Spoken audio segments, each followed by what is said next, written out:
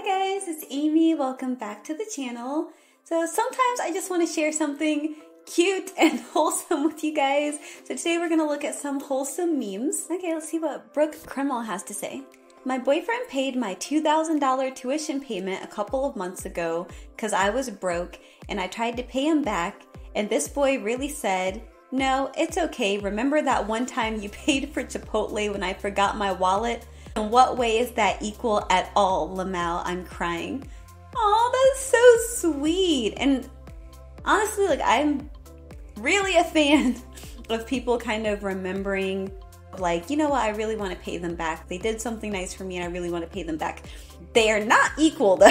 Her paying for Chipotle and him paying for a $2,000 tuition payment is quite different, but um, it's just really touching that he appreciated that and he showed it with his actions in the future. I love that. Okay, a little kid came up to the ice cream truck today holding a five dollars in one hand and a cool leaf in the other. She asked for a bomb pop, and I said, okay, that will be one leaf, please. And she said no and handed me the five dollars. trying to do something nice, but she was like, um, you're not getting my cool leaf. You know how it took me all day to find this leaf. That's so cute. Okay, people.com said, Man who grew up in foster care adopts three boys. I'm the father I wish I had growing up. Everyone liked that. is amazing. This really brightens your day to see people out there doing the right thing. Because I think we hear so much. Like if you watch the news or even like the topics that are trending, usually they're the ones that are the most controversial, the most divisive, um, contain the most drama. And, you know, don't get me wrong, I like to partake a little bit as well. That's why I have the whole um, Am I the Antagonist series on this channel with my mom. But it is nice every now and then to remember there are people out there doing wonderful things and it kind of inspires you to want to go out and touch someone's life in a positive way too. Okay, Betsy says, when I was at the lake, there was a group of college guys jumping off a cliff, and they were all giving this one dude in their group crap for wearing a life jacket when no one else had one on. And he goes, Quit it. I pinky promised my girl I would wear it. And I think about that a lot. Yes, pinky promises cannot be broken. Can you imagine if he went in with without the life jacket after Pinky promising his girlfriend, he would probably burst into flames. Okay, Margaret Leahy Leahy says, I put these clocks up when my four children started traveling and living abroad, and I keep them set to the time zone where each of them are. This morning, for the first time in almost three years, they are all on the same time. Hashtag family.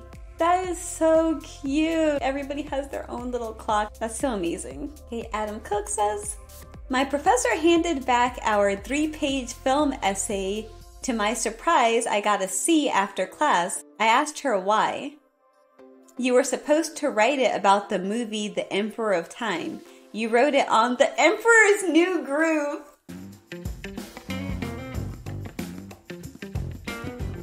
But it was kind of good, so I didn't fail you. So that's how I'm doing. oh my goodness. Okay, I will look up the Emperor of Time because I just want to know how far off base this person was. A Sundance favorite, The Emperor of Time is an absolute treat for cinephiles. The film is projected entirely through an old mutoscope, an early motion picture device from animation pioneer Winsor McCay. That's all I can tell you. You can Google The Emperor of Time if you'd like to see um, more about that. I think I will watch that later. It's just a short film. It looks very interesting, but yeah, they were they were pretty wrong. they should be grateful for that C. Uh, went to the shelter to pick up my newest foster litter, and the woman goes, "Do you want two kittens or four? Truly, the most absurd question I've ever heard. Anyway, they need names. Oh my gosh, but that I was gonna say that seems like a lot of work to like raise four cats, but I know cats are pretty independent. Those of you who have multiple cats, they pretty much keep to themselves Is it just litter box maintenance? Okay, Emma says, thinking about how the Dutch police arrested a bird for taking part in a robbery, put it in a jail cell with bread and water, and when the media reported on it, they put a little black bar over the face to protect its identity. It looks like a parakeet. I can't tell one parakeet from another parakeet, even without the black bar, so. But that is so cute. Like I want I want to know which part the bird played in the robbery.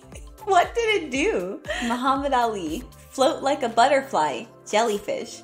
Done.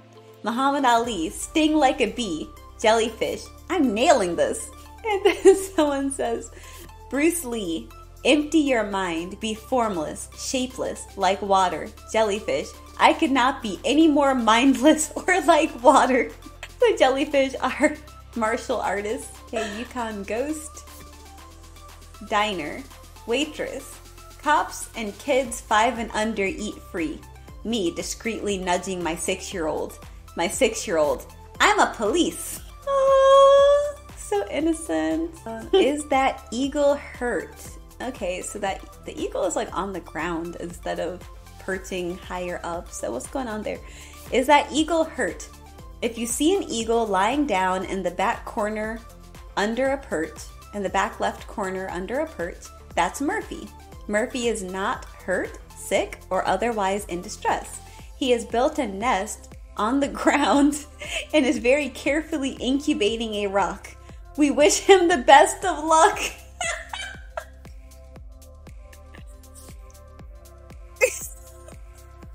I'm so confused, like why he thought the rock was an egg and how long he'll continue trying if it never hatches. That's super interesting. A young woman caught a home run ball hit by Japanese slash MLB superstar Shohei Ohtani during the World Baseball Classic. And someone next to her wanted to see the ball, and it eventually got passed around the stadium to whoever wanted to see it, and it was returned to her after everyone got their turn. That is amazing. And I will say, like, the baseball experience in Japan is so different from in the US. I saw a Giants game at Tokyo Dome um, like several years ago. And I knew it was going to be completely different when the cheerleaders came out. And I was like, what are we doing here? that was super fun. And it's very wholesome that Nobody tried to take the ball, and it got back to her in the end. I love that. Natalie Foster says, HR at my work just called me and I thought I was in trouble for something, but they let me know my 11 year old sister has been commenting on their Instagram every day, telling them to give me a raise. These are so sweet, like, I can't. You have a really sweet little sister. And that reminds me of a time when I called um, a car dealership and tried to order one red truck for my mom. I'm just like, one truck, please, and I'd like it in red. And they were like, put your mom on the phone. so I get it. She had good intentions. People can now adopt dogs who failed government training for being too friendly. That's so cute. I want that one. Can I have that one? Hey, this one takes it home this year. so she has to wear this cloud dress so they can green screen it out. I love that. That is so fun. I want her job just for a day, just to wear the dress and the green screen. Maybe I'll get one anyway. I don't I, I just realized I don't have to be a weather person to wear a cloud and get in front of a green screen. no, I love that. They're going the extra mile to make the weather a little bit more interesting. Okay, this happened today right now 15 minutes ago my dad announcing me that he has the hereditary family cancer and is waiting for a specialist view on his case. The specialist telling him that the generalist misunderstood his results and it's not cancer, guys. I feel a little bad about laughing because I'm sure those moments between seeing the generalist and the specialist must have been terrifying to think that he might have had cancer, especially if they lost family members due to that cancer. But it's really wonderful that he doesn't have it. Hey, Duolingo can be good sometimes. Let's see what happens. We have Amanda Lopez, she has two following, five followers, joined March 2023, learning several languages. And Rob, okay, we're just calling him Rob, joined in 2020, learning similar languages to her, three following, four followers. Okay, are you the guy that keeps congratulating me on Duolingo? Thank you. I try to keep going even when dead because the cheers help. And he says, Yeah, that's me. Cool. I wasn't sure if you were just a super cute bot. Haha. And then they got married.